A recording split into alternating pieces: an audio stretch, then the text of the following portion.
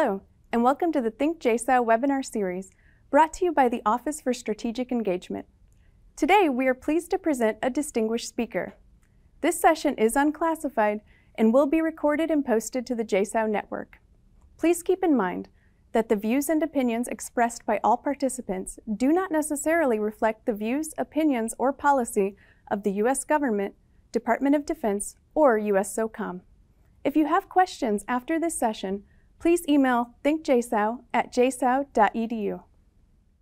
Hi, uh, I'm Dr. Rob Burrell, and welcome to this special interview from Joint Special Operations University. Today's topic is understanding the current state of Venezuela. I had the honor of interviewing Dr. Craig Deare from National Defense University. I want to emphasize that the views expressed in this interview are entirely the opinions of the participants. They do not represent those of the US government, the Department of Defense, National Defense University, or Joint Special Operations University. Now, to our guest today, Dr. Craig Deare. Dr. Deare has served at National Defense University since 2001. He pre previously served in the US Army for 20 years. He is an American political scientist with a PhD from Johns Hopkins University. He specializes in the Western Hemisphere and particularly in Latin America. His most recent book is A Tale of Two Eagles US Mexico Defense Relations Post Cold War. We are privileged to have him here today to discuss the state of Venezuela. Craig, thank you for joining us.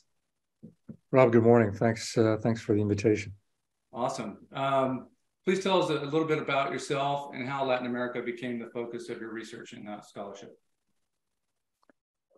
Sure. Well, the um, the one thing that, that wouldn't show up in, in my bio is that uh, uh, my dad retired from the Air Force. Uh, we moved to Guadalajara, Mexico when I was 12. So I grew up in Mexico, uh, to include the last four years going to an all male Jesuit prep school. And one can imagine those formative years, the influence, the impact that it has on you. And that has stayed with me ever since. That is likely why I gravitated to become a, a Latin American fellow. And just by sheer luck, I was actually on orders to go to be a, an ARMA down in Argentina. But somebody left early, something happened, and they said, "How, how about Mexico?" And I said, uh, "Sure, I'll, I'll do Mexico." So that took me back to Mexico in the early '90s, and has, uh, even though I am or was technically a Latin American specialist, I was really mostly a, a Mexican specialist. And when I retired from the Army at the end of 2000, I joined what was then called the Center for Hemispheric Defense Studies, now known as the Perry Center, which which broadened me a little bit. Uh, so I had the opportunity to go to virtually every country, Latin American country in the region. Curiously enough, with the sole exception of Venezuela. Um, so so my my knowledge of, of, Venezuela is is staying abreast of the literature, right? Not uh, not from any on the ground experience. Although I visited her neighbors, you know, spent a lot of time in Colombia, some time in Brazil, some time in Guyana. Uh, so hopefully uh, a combination of those things will, will be helpful for, for our purposes today. That's great. Uh, I love that background into um, spending your childhood um, in Mexico because all of us, I think, as humans, have um, you know these dominating features in, in, the way we view the world based upon where we grew up, and so that's that's really interesting insight about you. Um, so let's talk a little bit about Venezuela in terms of um, the regional uh, instability uh, down there. You know, most of us in the United States are not very educated on what exactly is happening uh, in Venezuela. So what is going on in the region and what are some of the dominating factors of instability? How much time do we have? so I say that obviously in jest, but but my view is that that the drivers of of insecurity and instability in the region are deeply rooted in the region's colonial past. How the region was colonized, who the colonizers were, when it was colonized, So as opposed to the North American experiment, not including Mexico, obviously, but US and Canada, uh, that happened, you know, beginning in the 17th century, but really mostly in the 18th century. Whereas farther south, that began in the late 16th uh, and early 17th centuries. And, and the predominant uh, political formation in, in Iberia, of course, was, was feudalism. And you still had monarchies, and the predominant economic uh, paradigm was mercantilism. So all of that gets imposed on an indigenous population. And, and so what we see over the course of the next three, 400 years are, are efforts to try and evolve politically and economically and socially and, and develop meaningful and effective judicial systems, but but it's a work in progress. And and so my argument is that um, high levels of insecurity that we see in most countries in the region, with a few exceptions that you can count on one hand and have fingers left over, are the result of immature political systems, um, weak economies, um, weak to non existent systems of justice. And all of these are due to uh, the cultural imprint that, uh, that began hundreds of years ago.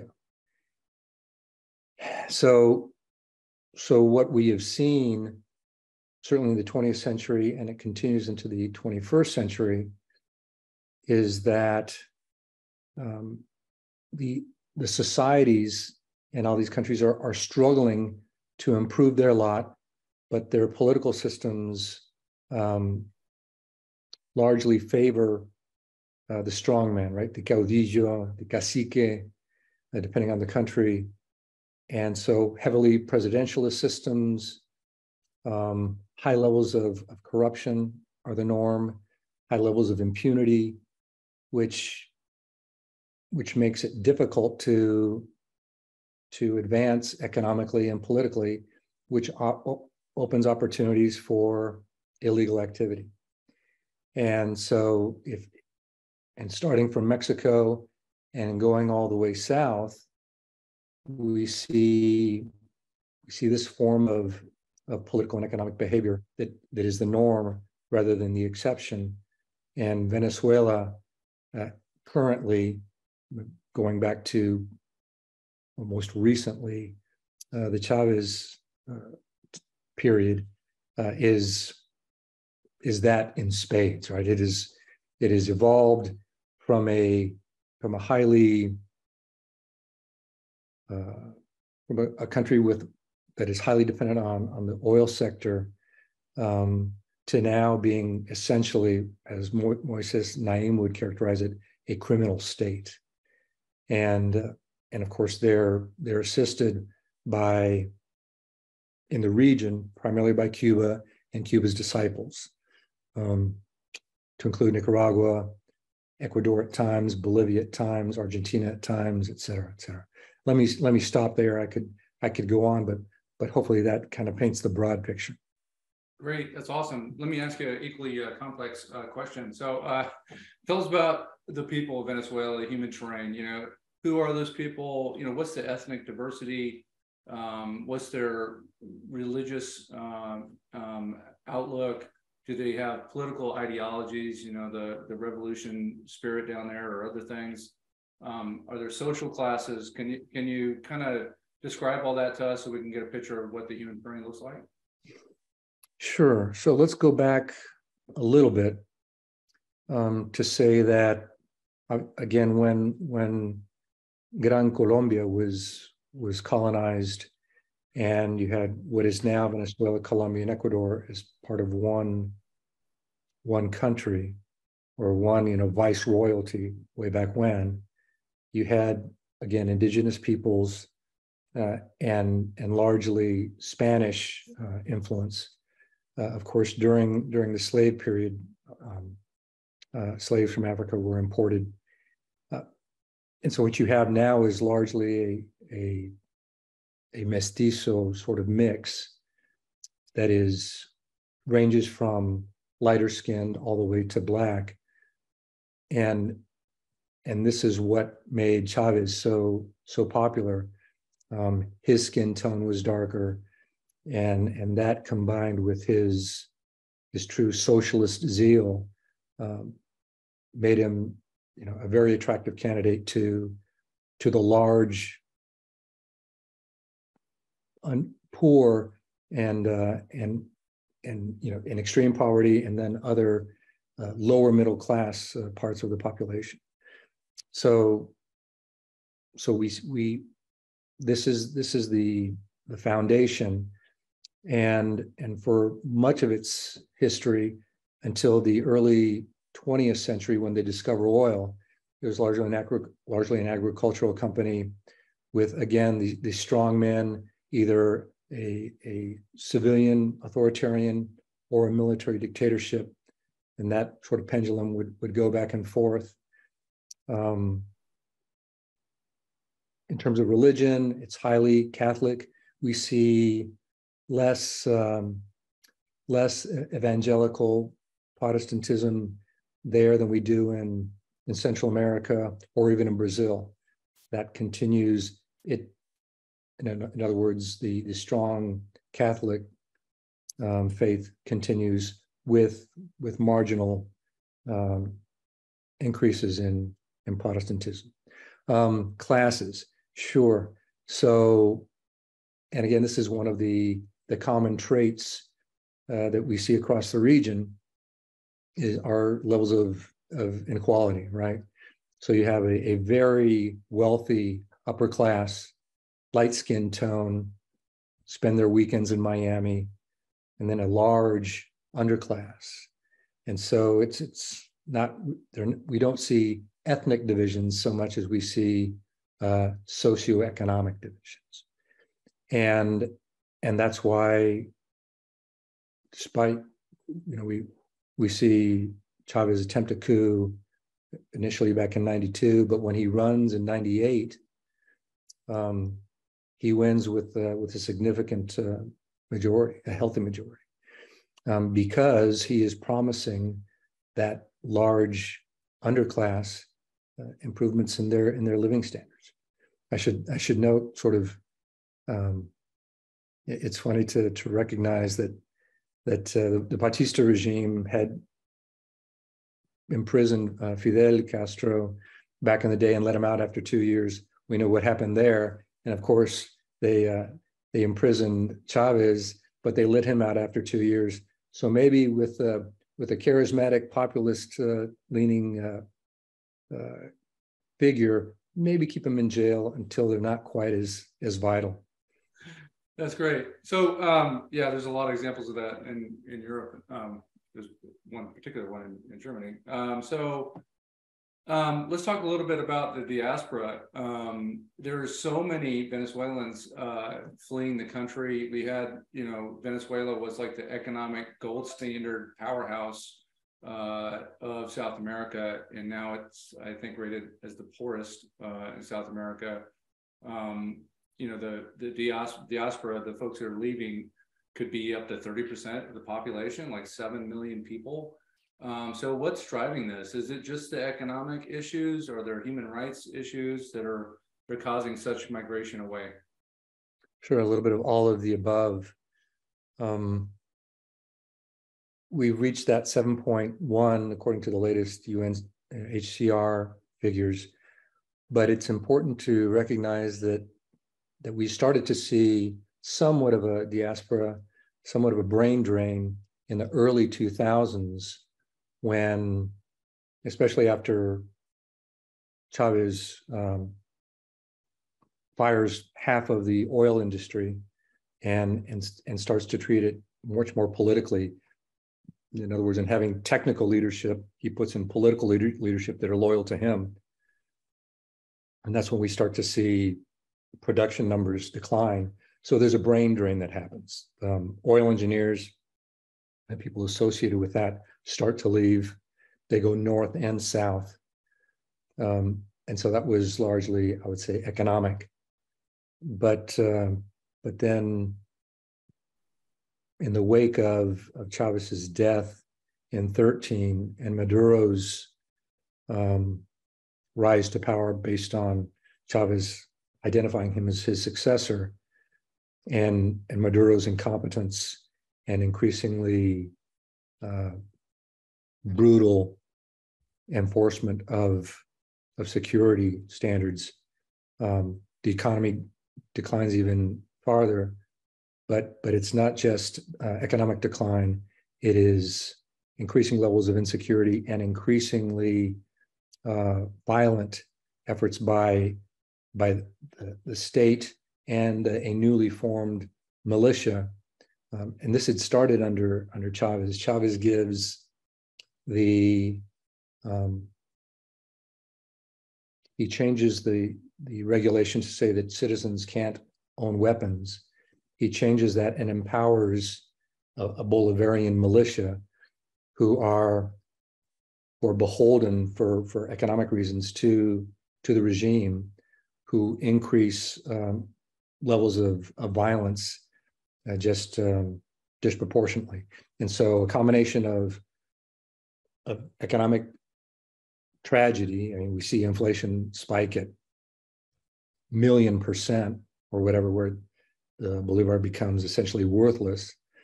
Um, we've all read the stories about how you know the average Venezuelan lost 20 pounds over over the course of a few years just because there was little food to eat. This is when Maduro is trying to maintain uh, his economic model, and so people are fleeing to find something to eat and to avoid um, being repressed. I, I read a statistic that between 2016 and 19, this is according to Human Rights Watch, over 19,000 Venezuelans were killed, um, both by um, the the armed forces, the police, and these uh, this the colectivos and the uh, and the militia. Wow, wow, that's that's terrible. So, um, you know, we the U.S. is, is pretty close. Um, you know, I'm, I'm broadcasting here from Tampa. We're pretty close to Venezuela. So, what what's U.S. foreign policy um, been towards Venezuela, just in general, and then how did that develop? And then, are there any nuances that we should understand between, you know, the Trump administration's approach to Venezuela and kind of what the approach that Biden's taken over the last couple of years? Sure. Yeah, the last part is important, but let me let me build the context first. So again, going back to into history, um, Monroe Doctrine, but the classic Monroe Doctrine, as as conceived by John Quincy Adams, wasn't that uh, that the U.S. was going to impose its will on the region, but rather it was a message to Europe and to Russia to say, "Hey, this is not your hemisphere. This is a hemisphere of free people. Leave us alone." And the US wasn't heavily involved in Venezuela until the discovery of oil in the early 20th century. And despite the fact that there were authoritarian leaders uh, in various phases of the, the 1920s, 30s, 40s, even up to the 50s, the U- US was tolerant of those regimes, despite human rights abuses, et cetera. Um, we were a supportive of of the the oil that that, uh, that was necessary, and of course World War II. We we rely on that oil, and post World War, um, it's the bi it's the bipolar world and the fear of Soviet ideological and geopolitical expansion. So again, despite the fact that there are military regimes controlling the country, we are supportive in the early 60s, this is where Fidel starts to come in, um, where he's try, trying to export Foquismo throughout the region. The, the military leadership was staunchly anti-communist, and so a, a, a we see an even stronger development of, of a bilateral defense, a bilateral mil-to-mil relationship uh, begin. And at one point, uh, I think it's fair to say that it was the strongest mil to mil relationship that the US had in the region. So much so that, um, that the US authorized the sale uh, during the Carter administration, who had, you know, Carter had prohibited the sale of, of probably third generation fighter aircraft to the region to ensure, to attempt to, to quell any, any arms race. Uh, but he, he allowed the Venezuelans to buy uh, F-16s. And so um, the Air Force relationship was very strong. The very first UNITAS exercise was held in Venezuelan waters.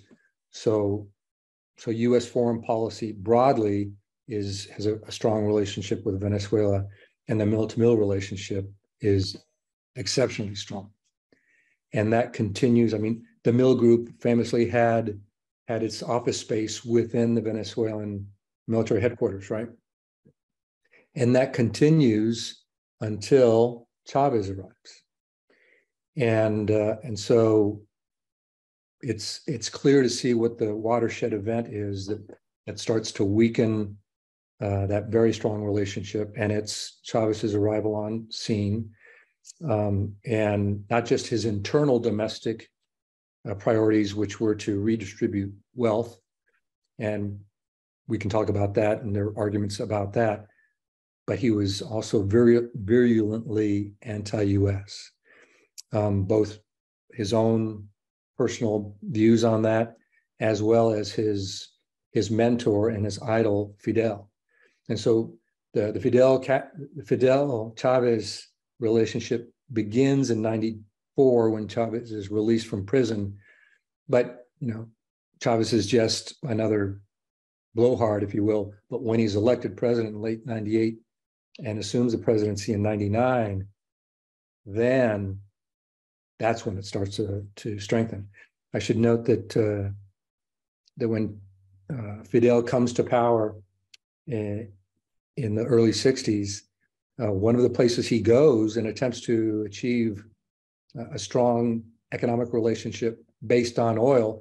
You know, he's he's dependent on the Soviet Union, but he wants to to broaden that, and uh, and the Venezuelan government says uh, no, I don't think so, and they're and probably in part because you know Fidel's exporting uh, his his revolutionary thought to the country, attempting to destabilize it. So they say no thanks. Anyway, so fast forward to to the early 2000s, and here's you know it's uh, it's Fidel's dream come true. I've got access to Venezuelan oil, and and that's the economic piece that we can talk about in a second. But but Chavez continues to um, to antagonize the you know he kicks out the DEA um, at the free trade area of the Americas and Mar del Plata in 2004, I believe, when President Bush goes down. Uh, Chavez generates this massive uprising against him. He famously goes to the UN and says the devil was here. You know, it smells like sulfur. Um, just really, really strong anti-American um, rhetoric. And so obviously the the broader relationship cools, the military mill relationship essentially disappears. And um, and so the Trump administration, let me back up just one second. So the Obama administration is trying to um, to work out some sort of political arrangement where free and fair elections can take place. Um, and and the the I guess Undersecretary of State at the time, Tom Shannon, who interestingly enough had been his first assign his first gig at state was he was the Venezuela desk officer. So the senior guy in the State Department who cared who knew more about Venezuela than anybody else and cared more about Venezuela than anybody else was not just the assistant secretary for Western Hemisphere Affairs, but the deputy secretary of state. So he owned that, and he was convinced that that as a good diplomat, you know, state and, and defense have different views on, on how to solve these things. He said it's got to be through negotiations. The Pope gets involved, but none of this is working, right? There's talk, there's talk, there's talk, but nothing happens. Trump administration comes in, and that's when we start to see economic sanctions again. And of course, the famous John Bolton, uh, yellow legal pad, what was it, 5K or 50, yeah, 5K, obviously for effect. Uh, no one in the Pentagon had any interest or desire to intervene militarily, at least conventionally. Um, and and so the Trump administration tries, but I think with insufficient creativity, none of that was successful. The Biden administration comes in with a, a different view, even though some of the they've maintained um, many of the sanctions against individuals.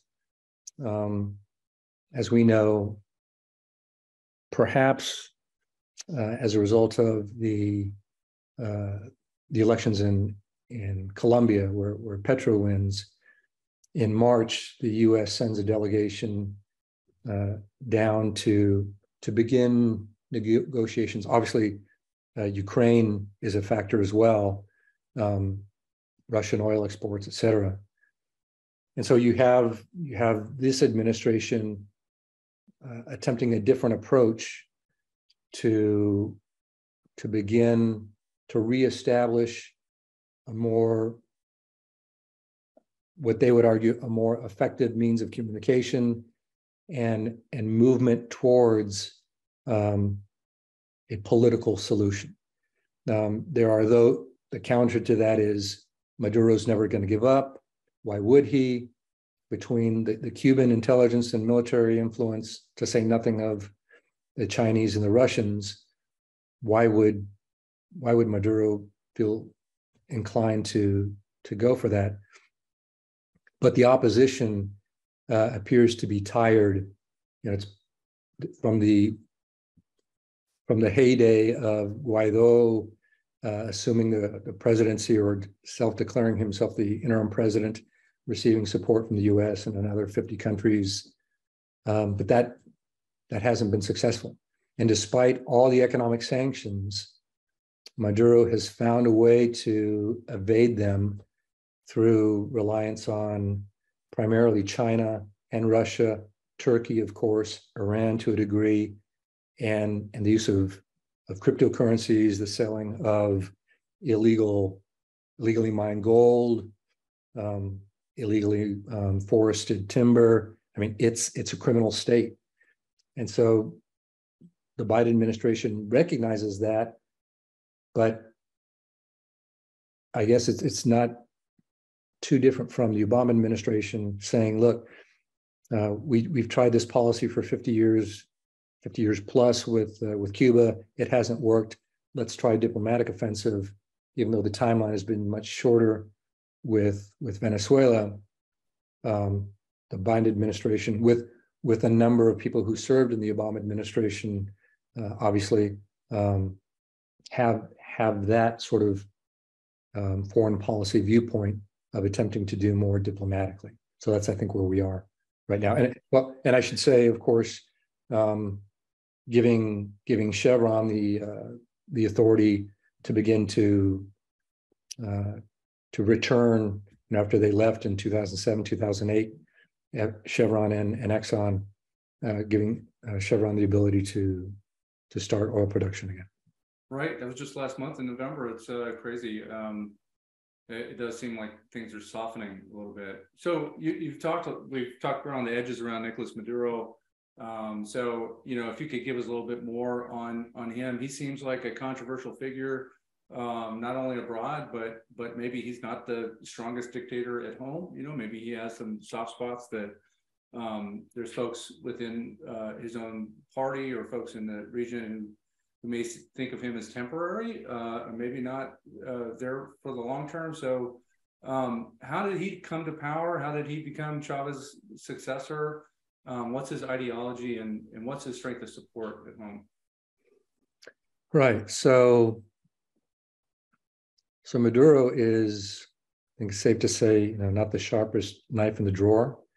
Um, was a, a a taxi driver, a bus driver, was a member of of that union, and a a very strong supporter of of Hugo Chavez.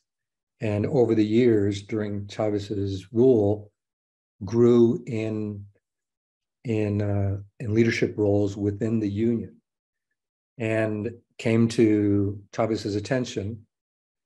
And I suspect, and I I have nothing to base this on other than just looking at the evidence, um, is that Chavez picked him not because he was the smartest guy, but that he was the most loyal guy, and that he would do exactly what Chavez said.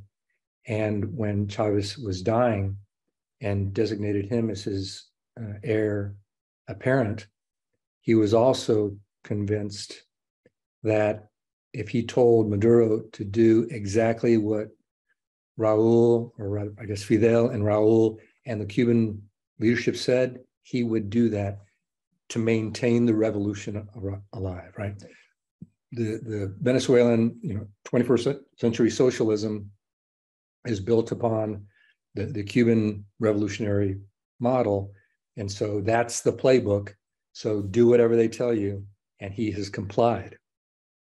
Now, um, there have been attempts to unseat him, but because you know my, my hypothesis is that again this when when when Hugo came came along and was you know enamored with Fidel, this was this was Cuba's salvation.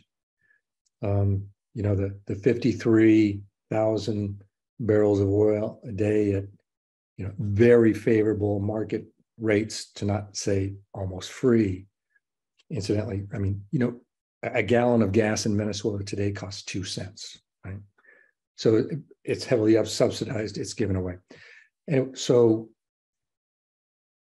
so cuba the cuban leadership heavily influenced by the cuban military of course is um, they are not going to let this go easily.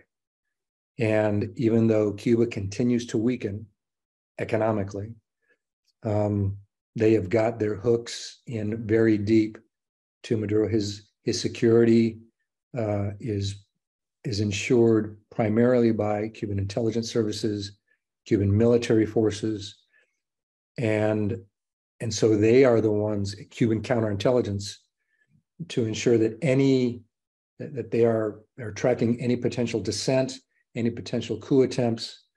And so it's not the strength of Maduro and his political acumen that are keeping him in power. It is rather uh, Cuban intelligence services, uh, as well as elements of the Wagner Group and others that have, you know, there, there are concentric circles around Maduro to make sure that he is protected. You're really describing Cuba as almost like the center of gravity to Maduro's uh, strength.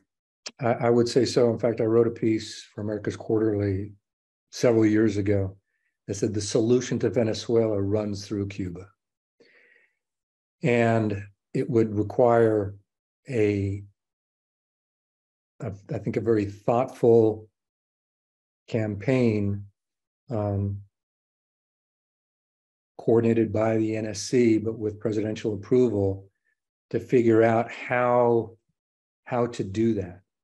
But for certainly that wasn't going to happen during the Trump administration for domestic political purposes, right? In the Trump administration with, with Florida, et cetera.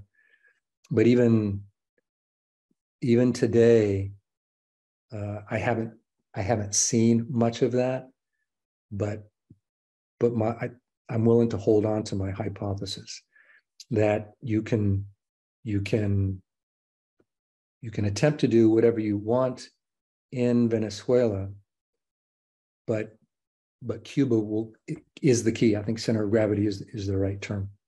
Oh, great!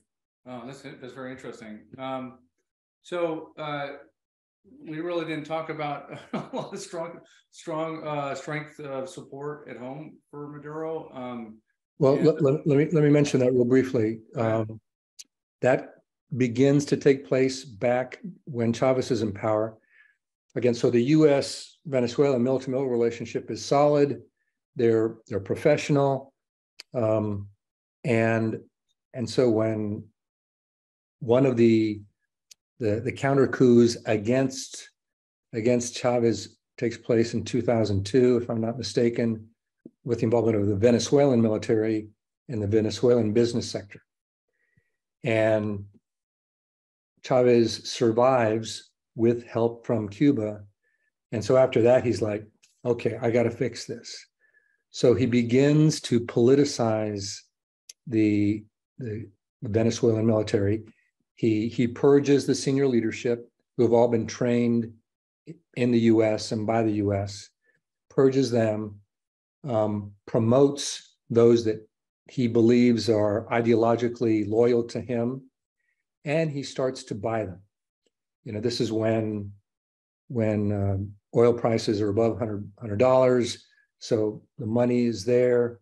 In addition to Petrocaribe and buying boats in the Caribbean and, and in Latin America with with oil, he's able to corrupt uh, the, the, the Venezuelan military.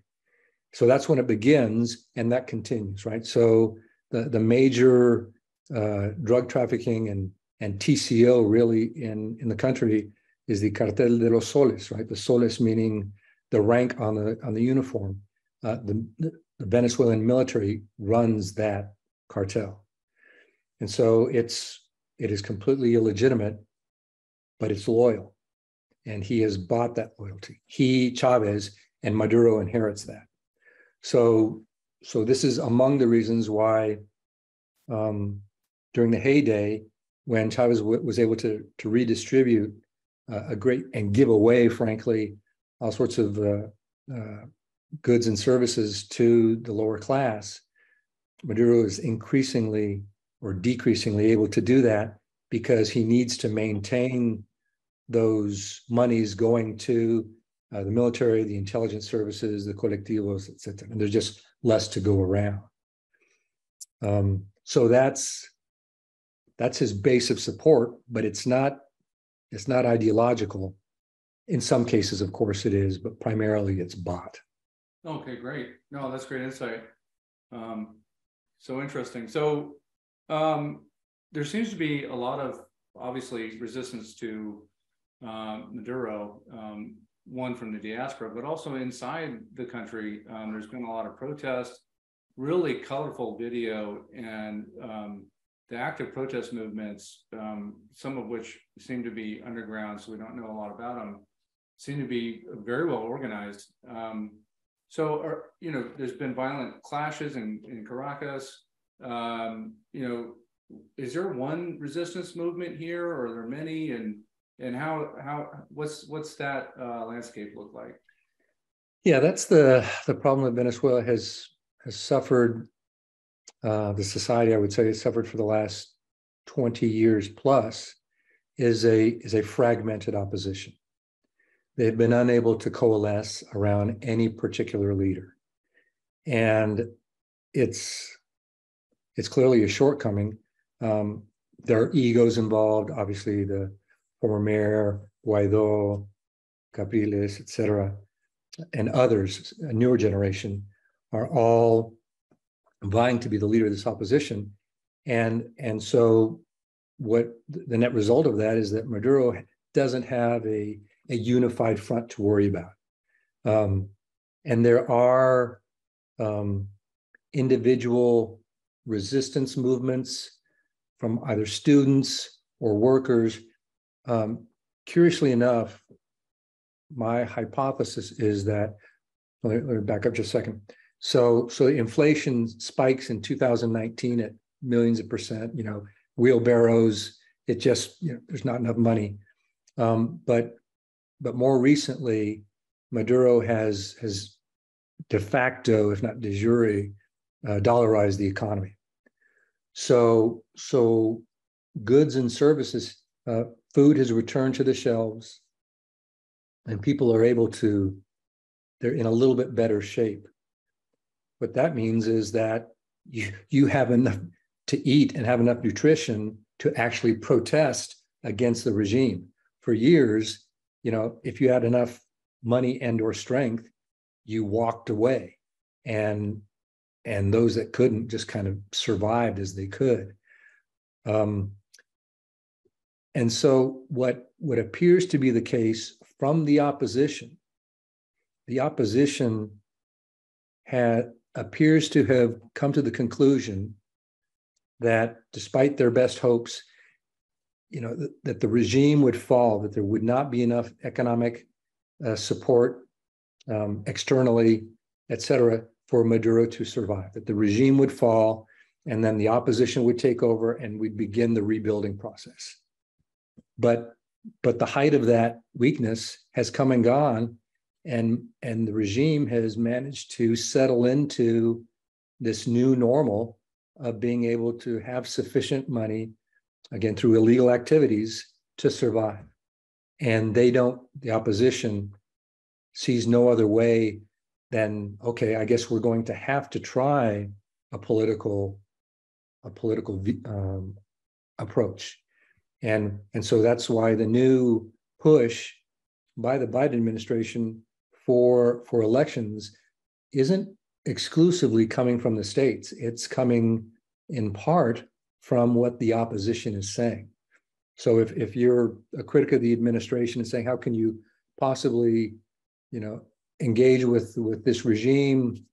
It's illegitimate um, et cetera et cetera. All that may be true but if if you're not going to have a military uh, attempt at resolving this, and most everybody says that that's you know it's not Panama, it's a big country, right?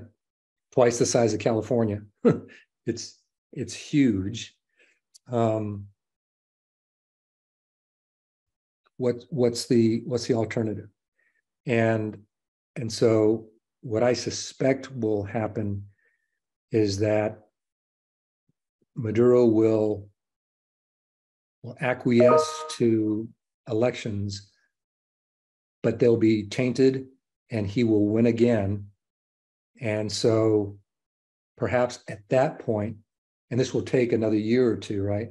At that point, the opposition says, hmm, okay, plan A didn't work, or plan C, whatever it was going back to 2016, 17, 18. Maybe then they'll, they'll be interested in doing something else. But and of course the a a different option, a different set is highly complex, and the Biden administration isn't interested in doing that at this point. Uh, so we'll we'll just have to see.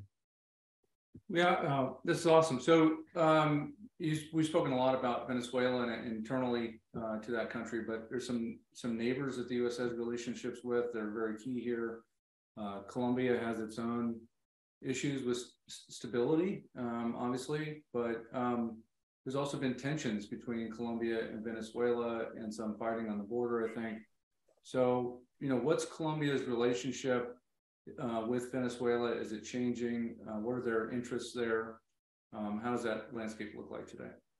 Yeah, that's uh, that's a very dynamic situation that is changing as we speak because of Petro's victory, right? So again, going back to history, Colombia was in really bad shape late 90s, early 2000s. That's what leads to the Uribe uh, election and the beginnings of what we now know as Plan Colombia. And so two four-year terms by Uribe, succeeded by uh, Juan Manuel Santos, who had been Uribe's defense minister. But and that's that's a separate conversation. Santos is an interesting guy, had a relationship with both Fidel and uh, Raul. And some would argue, I, I'm on this camp, others disagree with this. But uh, former, uh, the former head of the, Colombian military, General Carlos Ospina, was a colleague up at NDU for several years. Um, wrote a book that came out several years ago entitled uh, the the Colombian Colombia with the FARC and said it was a military victory, but a political defeat. And so the, the situation in which the FARC guerrillas were encouraged and motivated to come to the negotiating table was because they had been defeated militarily. And, and the Colombian government was in a very strong negotiating position. And the argument that General Ospina and others make is the Colombian government gave up too much in return for too little to achieve that peace accord. And so the peace accord is reached and it's it's attempted to be implemented, but but without great success. And, and we have seen that for years. So although some FARC uh, did turn in their weapons and, and of course assumed um, roles in, in the Congress because of the, the parameters of the agreement, um, what, what they now call the FARC dissidents uh, are still running drugs. They're still, they still have safe haven uh, in, in Venezuela. I should note, again, going back, part of the challenge of this bilateral relationship is during Uribe and Santos and Duque, Duque uh, succeeds Santos. Uh, years ago, Chavez says they're not terrorists, they're legitimate insurgents, and um, we should recognize them as such, and gave them operating space within Venezuela to to train and and re-equip and refit. So so that is not well received on the Colombian side, right? We'll fast forward to Petro's victory, a new defense minister who had who had been anti anti-Colombian military, um, who's now the defense minister, um, and and President Petro have, have reestablished relations with Maduro and with Venezuela. And so that, as you as you suggested, yeah, that that situation is changing bilaterally between Colombia and Venezuela, and obviously that involves the U.S. because when this isn't causal, but the the bilateral defense relationship with Venezuela begins to to sour in the early 2000s, simultaneously, separately, because of Uribe and his leadership, the US Colombian mil to mil relationship starts to strengthen and becomes, you know, Colombia at one point becomes really the only military ally that the US, formal ally that the US has in the region. You know, the US has got great partnerships in the region, but no declared ally. Arguably, Argentina back in the day with, you know, uh, major non-NATO uh, ally status but but because of the relationship between the U.S. and Colombia, that's that's an alliance, great relationship, and and now that's in question because of the change in leadership at the presidential level, new uh, new defense minister. The U.S. Uh, has has gone down there at uh, at the highest levels. Well, not the highest levels, but um, but at senior levels to Colombia to to see what this new normal is going to be, at least during this this first term of Petro, and um, and publicly they're saying, you know, we continue to work on things of mutual interest, such as human rights and counter narcotics, but but behind closed doors, I'm I'm concerned because because Petro just has a different view. A former um, former guerrilla himself, and and just has different views of of how to what to do about narcotics. You know, do we even need we the Colombians even need to to battle against narcotics anymore? It's uh it's an interesting time to just to put it mildly.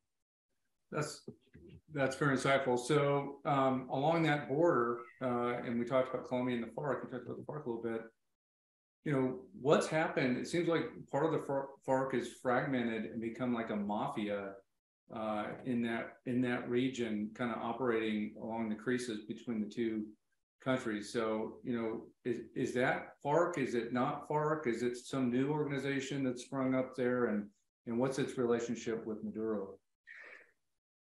Yeah so so we need to to recognize that the farc evolved from being a an ideologically driven you know, Maoist, Marxist um, group in the in the 70s, 80s, 90s into primarily an economically motivated transnational criminal organization with a facade of, of insurgency, but really a TCO.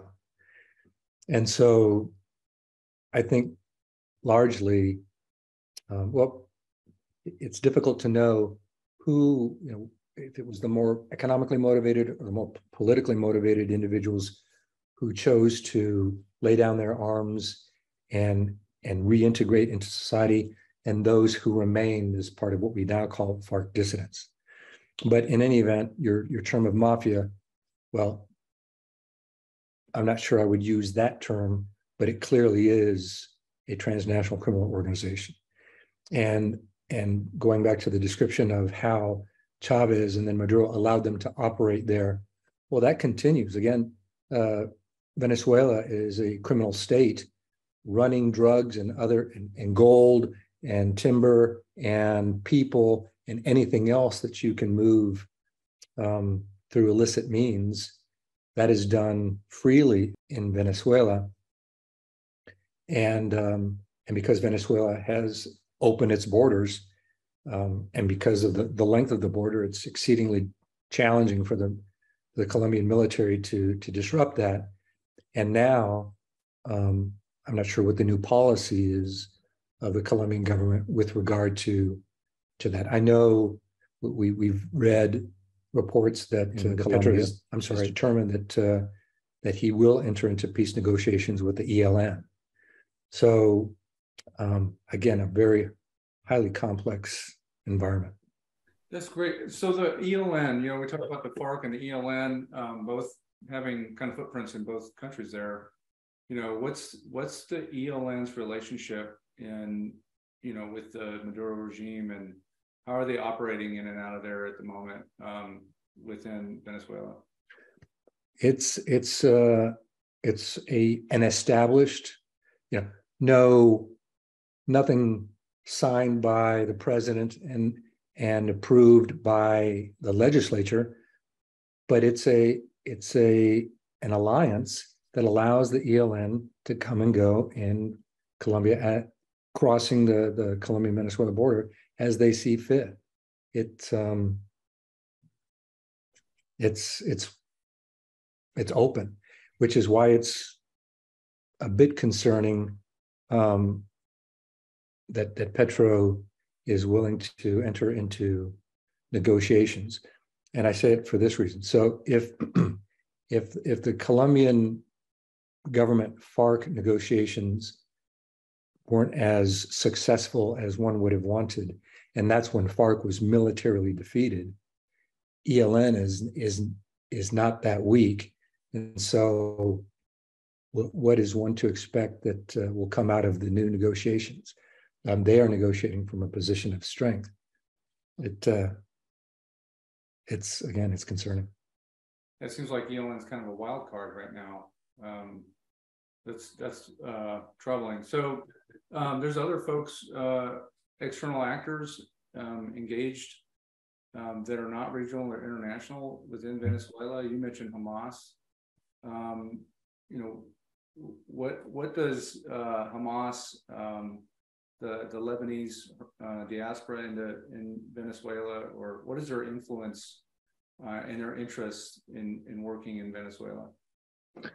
So, in fact, I I had mentioned Hamas um, I had mentioned um, Iran. Yeah, right. Um, and so, you know, Iran's presence in the region had had primarily been in the tri-border area, and it was largely commercial, a little bit of uh, proselytizing, but mostly commercial. Um, and you know a huge uh, money laundering operation and, and an attempt to to weaken at the margins to the, the degree they can the legitimate governments in the region with venezuela uh, iran shares you know they're they're similarly sanctioned So they're both in search of opportunities where sort of a, a black market or a market of the of the of the sanctioned can operate. Um, and that's uh, that is absolutely fine for uh, for Russia and China, who are you know attempting to undermine the rule-based order, and uh, and so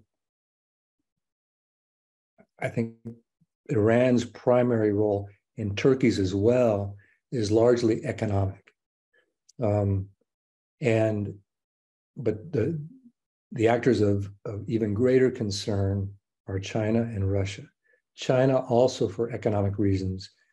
China has, of course, whether you're talking about one belt, one road, or BRI, um, they are active globally. They're very active other places in the region. They have their eye on Venezuelan oil and have invested uh, billions 40 to 60 billion, no one's quite sure. Um, but because of the inept running of PDVSA, um, they aren't getting a whole lot out of it. I think the current estimates range between 500 and 600,000 barrels a day. In contrast, you know, Russia produces 11 million barrels a day, as do as do we, right? So, but but this is I my sense is that Venezuela, although they would like that now, they China plays the long game, right? They are perfectly happy to to suffer some short-term economic losses to ensure access to to those resources when they're finally up and running again. Russia's in, interest is is more geopolitical, I would argue, um, almost like the Cuban Missile Crisis when um, when we had had assets stationed in in there near abroad, and they wanted to put assets in Cuba. This is okay. You're you're in you're expanding NATO, et cetera. Okay, well, we're going to try and expand our presence in the region. The largest presence right now are, are of course, Cuba historically since the 60s. And then uh, Nicaragua and Venezuela are the strongest recipients of, of of weapon sales and technical advisors. I mentioned the Wagner Group. They're they are reported to be in Venezuela, uh, offering uh, assistance. So, so these external actors complicate an already complex situation. But if it if it was just regional actors, it would be challenging enough.